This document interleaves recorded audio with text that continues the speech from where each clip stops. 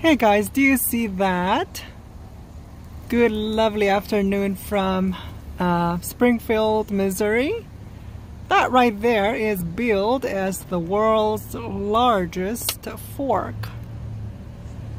Do you see that right there? It would have been nice if it was like out in like out on like a open field. It's really too close to that building to you know really get down and do selfies with it. So anyways, that is the world's largest fork here in Springfield, Missouri. So it's me, Jasmine. That's my hand waving.